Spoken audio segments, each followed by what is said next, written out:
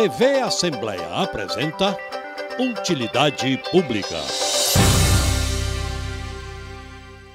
Meus amigos e minhas amigas, a queimada é uma prática primitiva da agricultura, destinada principalmente à limpeza do terreno para o cultivo das plantações ou formação de pastos.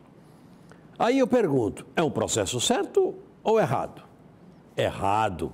O efeito mais nocivo da queimada é a destruição do meio ambiente.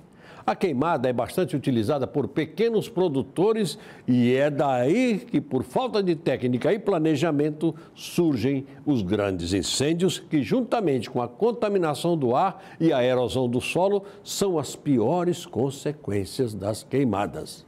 Estes tempos secos são também tempos de fortes ventos, que contribuem muitas vezes para o alastramento do fogo e seu descontrole, que podem destruir grandes matas, causando enorme prejuízo às plantas e aos animais.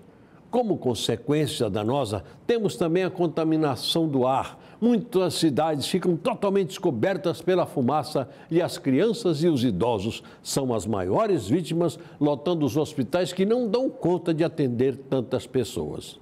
Muito cuidado com as queimadas. Com fogo, não se brinca. Utilidade Pública. Mais um serviço da sua TV Assembleia.